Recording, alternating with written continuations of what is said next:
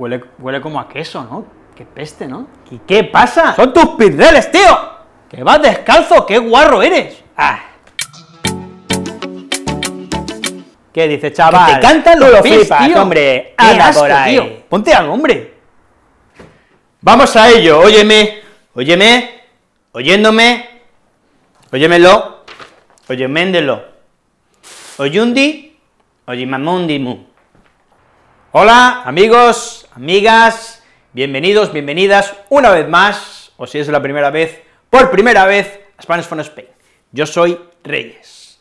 Bueno, antes que nada quiero empezar agradeciéndoos de todo corazón todo vuestro apoyo, todo vuestro cariño, toda vuestra participación en el canal. Hay personas que me siguen desde hace mucho tiempo, que aprenden español, son mis estudiantes, sois mis estudiantes, y bueno, si no fuera por vosotros, no podríamos haber llegado a los 25.000 suscriptores. 25.000 estudiantes de español, se dice pronto, ¿eh? pero tela marinera, 25.000. Bueno, muchas gracias, ¿eh? Esta semana Sandra, Sandra Salvadori, que es una de las, bueno, de las estudiantes que, que- más interés tienen por aprender español, que siempre comentan, que siempre eh, hacen algún tipo de ejercicio o me comentan algo sobre el vídeo, agradecen eh, el esfuerzo que, que hago para hacer estos vídeos, pues me lo recordó. ¿eh? Sandra, un besote muy fuerte para ti, ¿eh? un besote para Sandra, que está allí en Italia. Y hoy vamos a ver las partes del cuerpo. Un vocabulario intermedio, incluso podríamos decir avanzado. ¿Estáis listos? Vamos allá.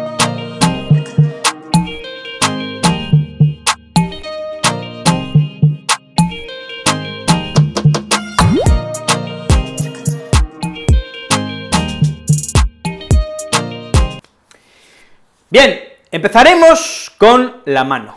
La mano, bueno, no la mano en sí, sino los dedos de la mano. ¿Sabéis cómo se llaman cada uno de los dedos de la mano? ¿Mm? ¿Verdad? Seguro que no. Seguro que no lo sabéis todos. Es casi un vocabulario avanzado. Yo mismo, ¿vale? Eh, he tenido que buscar el nombre de los dedos, porque no es algo, no es un vocabulario que habitualmente utilice. Entonces, tengo los nombres más o menos claros, pero a veces puedo confundir los dedos, ¿vale? Entonces es un vocabulario que yo encuentro avanzado, ¿eh? Cuando hablamos de eso, es muy específico porque cada dedo tiene un nombre, ¿no? Entonces, bueno, es específico. No todo el vocabulario va a ser nivel avanzado, pero yo encuentro que el nombre de los cinco dedos ¿eh? entraría dentro de un vocabulario avanzado. Vamos a empezar. El dedo gordo, se dice, se llama dedo gordo porque es el más gordo eh, de todos, pequeñito, pero es gordo, es más grande, se llama pulgar, ¿vale? En español hay un cuento que se llama Pulgarcito, de un niño muy pequeñito. Bueno, pues, de pulgarcito el cuento tenemos el pulgar, que es este dedo, ¿vale? Después tendríamos el dedo índice, ¿vale? Este dedo de aquí, ¿eh? el que está al lado del pulgar, es el dedo índice, dedo índice. Este sería el dedo medio, ¿vale? O también llamado corazón, el dedo corazón, no sé si es porque está en medio de la mano, ¿eh? de, entre todos los dedos, pero es el dedo corazón ¿eh? o dedo medio porque está en medio. Aquí tenemos el dedo, este es el que yo tenía dudas, ¿eh? no recordaba y, fui a buscarlo. Nombres de los dedos de las manos, de la mano. Bueno, es el dedo anular. A mí me cuesta un poco, mm, ¿sabéis?, Eh, moverlo, este dedo, sin que los otros dedos se muevan. ¿eh? Bueno, este dedo es el dedo anular. Y finalmente tenemos el dedo pequeñito, el dedo pequeño, es el dedo meñique. Quizás el meñique y el pulgar sean los dedos más conocidos, ¿vale? Este dedito de aquí, este dedito pequeñito, hola, soy el dedito meñique. uh. Y vistas las partes de la mano, veamos las partes del brazo, ¿vale?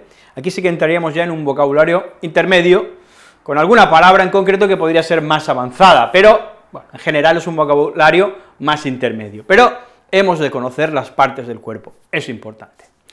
Bien, tenemos el brazo, eh, aquí lo veis, extendido, el brazo. El brazo empezaría por el hombro, ¿vale? Lo que en inglés se llama shoulder, ¿eh? el hombro. Continuaríamos con el codo, ¿vale? Esta parte de aquí es el codo, ¿eh? la parte que articula y dobla nuestro brazo, donde se encuentra la articulación, es el codo, ¿vale? Si yo golpeo a alguien con el codo, le doy un codazo, si golpeo.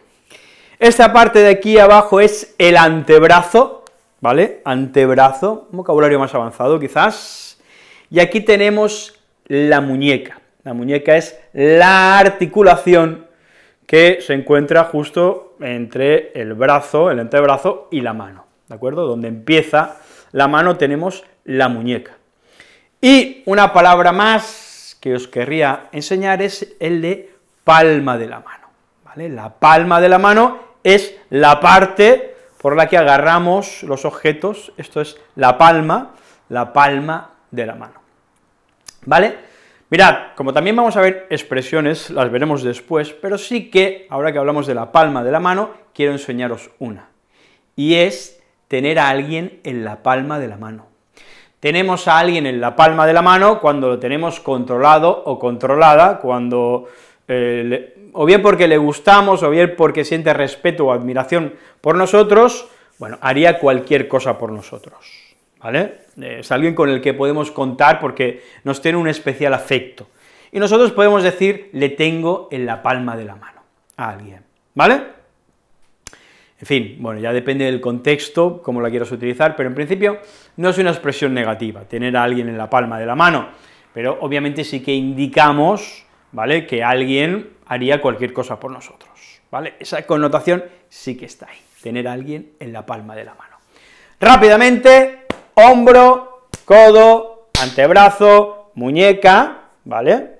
Muñeca, y la palma de la mano, por eso también decimos dar palmas. Continuámoslo con la pierna la, vamos a bajar la me y vamos a bajar la la. ¡Uh! Tenemos que bajar la la, porque tenemos que ver la pierna na. Esto es importante, te, para saber español o lo.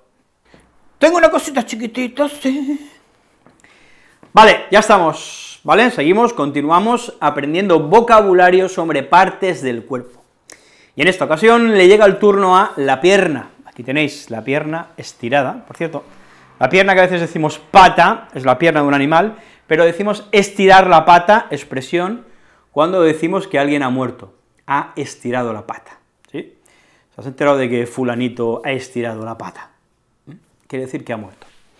Bien, tenemos la pierna entonces, la parte, esta parte eh, superior, que está más cerca de nuestro eh, tronco, de nuestra pelvis, ¿vale? Sería el muslo, ¿vale? Esto es el muslo, el muslamen, ¿eh? El muslo. Continuamos por la rodilla. Aquí tenemos la rodilla, bueno, dentro de la rodilla tenemos el menisco, lo digo porque yo me he roto el menisco y todavía sigo con el menisco roto, ¿no? Pero bueno, es lo que hay. Menisco es una articulación que lo que hace es doblar la rodilla, ¿vale? Menisco. Entonces, esta parte de la pierna más baja sería, ¿vale? Sería la pantorrilla. Esto es vocabulario avanzado, ¿eh? yo considero que avanzado. La pantorrilla. Y luego tendríamos el tobillo, que es la articulación que nos permite mover el pie, ¿vale? El tobillo, y, bueno, tenemos el pie, y hay una parte también que yo quería enseñaros, que es el talón, es esta parte eh, posterior del pie, voy a quitar el zapato, eh, la, zapatilla, ¿vale? No tengo ningún agujero, como podéis ver en el calcetín, lo cual es siempre interesante, y aquí tenemos el talón, ¿vale? Esta parte de aquí abajo sería el talón, ¿vale? ¿Estamos? Bueno, pues vocabulario sobre la pierna, ¿eh? que no ha estado nada mal. Ahora me pongo el zapato, chavales, chicos, chicas, si puedo porque me duele el menisco, y vamos a ver expresiones, expresiones sobre partes del cuerpo, ¿vale? Venga, pues vamos a ello, oye. Ferpético, matemático, estromético, es, es es Es una chica chiquitita así. Le gusta mucho caminar.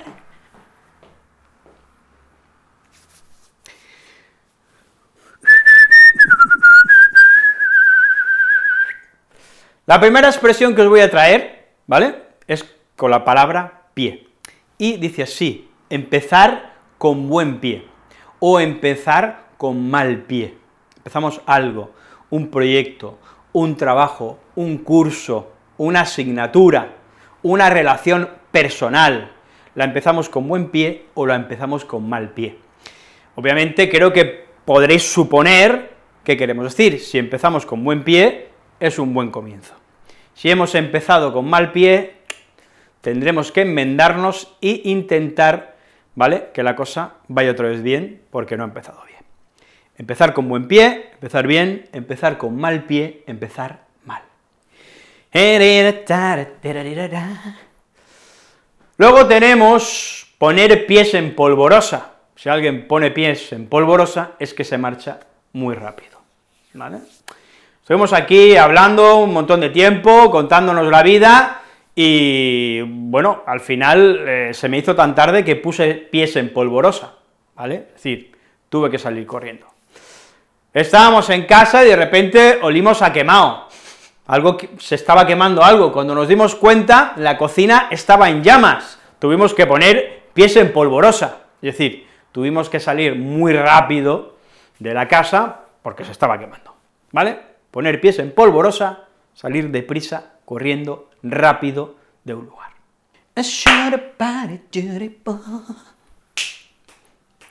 Bueno, decíamos tener a alguien en la palma de la mano, pero también podemos decir conocer a alguien como la palma de la mano.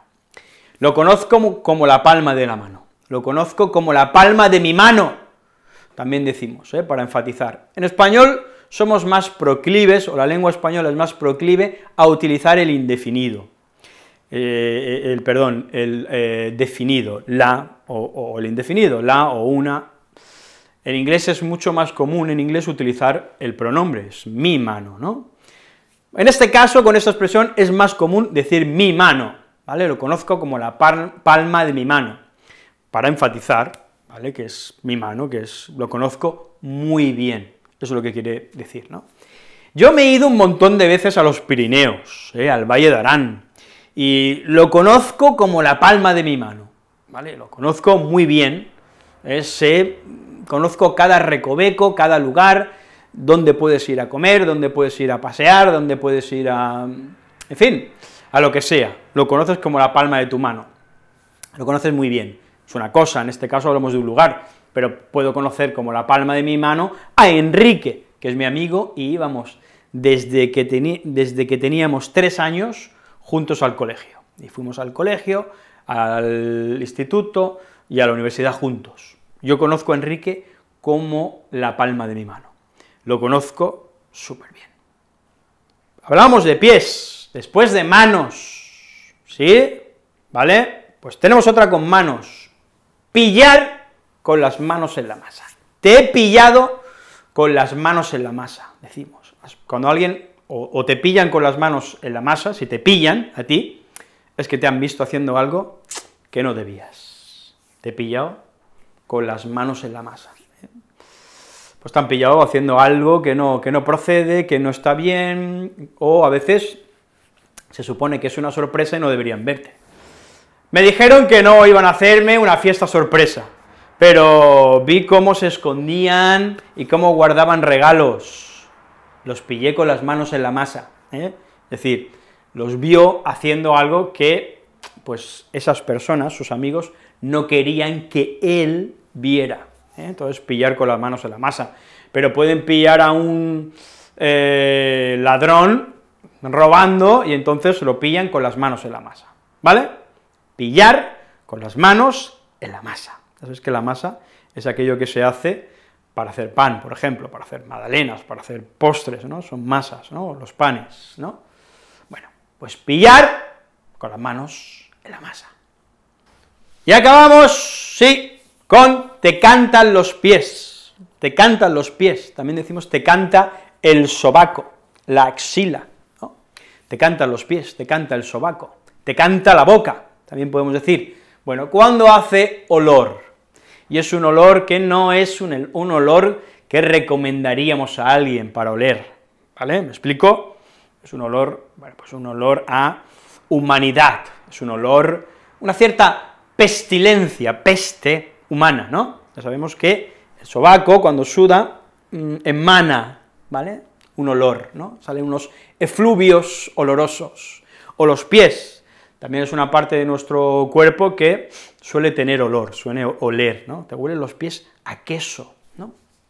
Y la boca también, a veces si no nos lavamos los dientes o tenemos algún problema estomacal, nuestro aliento, nuestra boca huele bien. Bueno, utilizamos el verbo cantar para hablar de mm, estas partes del cuerpo que hacen olor, y un olor que no es bueno.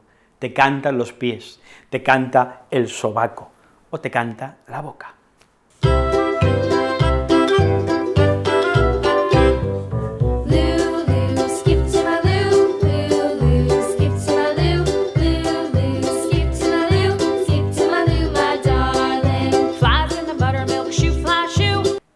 Amigos, amigas, la vida puede ser maravillosa, ¿vale? La vida es maravillosa, el otro día me decía un suscriptor, no, Reyes, no, la vida no puede ser, la vida es maravillosa, esa es la actitud.